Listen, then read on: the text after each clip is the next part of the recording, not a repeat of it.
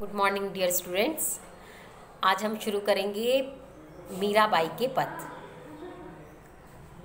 मध्ययुगीन काव्य मीराबाई के पथ इसमें मीराबाई मीराबाई को हमने पढ़ा है, पहले से स्कूल में भी पढ़ा है आपने, कि वे कृष्ण की भक्त थी। और कृष्ण के लिए उन्होंने, उनकी भक्ति में लीन होकर उन्होंने अपने घर, परिवार, दोस्तों, सबको छोड़ दिया। तो इसमें वो कहते हैं, मीराबाई के बारे में मतलब मीराबाई कृष्ण की भक्ति कैसे करती है? तो महारारी गिरधर गोपाल, दूजो न कोई। वो कहती है, मेरे तो सिर्फ़ गिरधर गोपाल हैं और कोई नहीं।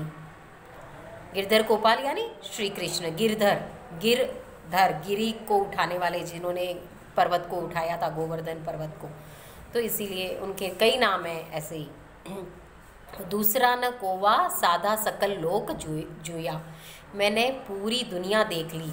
साधा सकल लोक, सकल यानी सब लोक, यानी पूरा संसार। पूरा संसार देख लिया, पर उनके जैसा कोई भी नहीं।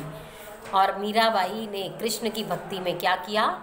भाया छाड़िया, बंदा छाड़िया, सगा सोया। भाइयों को छोड़ दिया, बंधुओं यानी दोस्तों को छोड़ दिया, और सारे सगे संबंधियों को छोड़ दिया।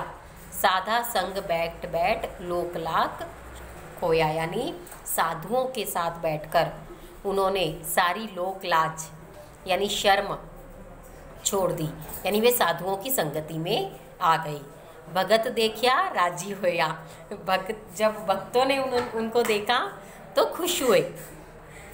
जो भी जो भी किसी की भक्ति करते हैं तो वे खुश हुए कि भक्तों ने उनकी ऐसी स्थिति देखी कि वो मीराबाई कृष्ण की भक्ति में ही लीन है। तो भक्तों को देखा, भक्तों ने इनको देखा तो वे खुश हुए। और जगत देखिया, रोया। और संसार ने जब देखा तो उस पर रोने लगा उसकी ऐसी स्थिति देखकर कि उसने सब कुछ छोड़ दिया है और मीराबाई कैसे पागल होकर कृष्ण की भक्ति में लीन है। तो असवा जल सींच सींच प्रेम बेल बोया आंसुओं के जल से सींच कर। मतलब रोते रोते भी उन्होंने अपनी प्रेम की, कृष्ण के प्रति जो प्रेम है, उसकी बेल बेल यानी क्रीपर्स को ऊँचा किया है। पानी तो देते ही है ना उसमें तो इसमें क्या बताया है कि आंसुओं के जल से उन्होंने अपने क्रीपर्स को बढ़ाया है, प्रेम के क्रीपर्स को, यानी बेल को। राणा विश्रो प्याला भेजा। जब उसके देवर ने देखा कि मीराबाई तो कैसे पागल होकर कृष्ण की भक्ति में लीन है तो उसके देवर को बहुत ख़राब लगा। उनके घर के जो दूसरे सदस्य हैं, वो भी बहुत दुख उसे देखकर बहुत उन्हें गुस्सा आता था। तो राणा ने, यानी देवर राणा ने क्या किया? विष का प्याला भेजा। पर मीराबाई ने उसे भी हंसकर पी लिया। तो इसमें क्या बताया कि उनके जो शरीर में, उनके आत्मा में किसके, कौन है? कृष्ण की भक्ति है पूरी। कृष्ण का प्रेम है। इसीलिए उन्होंने विष का प्याला, विष यानी जहर का प्याला भी हंस हंस के पी लिया। पर वो जहर भी क्या बन गया? अमृत, क्योंकि कृष्ण की भक्ति उसे कुछ भी नुकसान नहीं पहुँचा सकी। तो वे कहते हैं कि अब तो बात फैल पड़िया।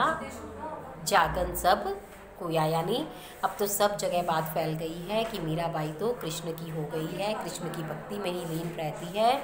अब चाहे कुछ भी हो, मीरा की लगन तो कृष्ण से लग गई है, अब वह छूट नहीं सकती। तो दो पैराग्राफ है इसमें। फ़र्स्ट वाला जो पद्य है वो है कि कृष्ण की भक्ति मीराबाई कैसे करती हैं, कैसे उनके प्रेम में मगन है। तो इसके जो फ़र्स्ट पैराग्राफ से क्वेश्चन है, वो है मीराबाई ने किसे अपना आराध्य माना? तो श्री कृष्ण को। किसके लिए सारा जग छोड़ा? तो श्री कृष्ण की भक्ति के लिए। मीराबाई किसकी संगति में बैठकर लोकलाज छोड़ी?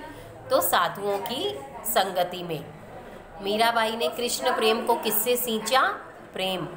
आंसुओं के जल से, आंसुओं के जल पानी से उन्होंने प्रेम की बेल को सींचा।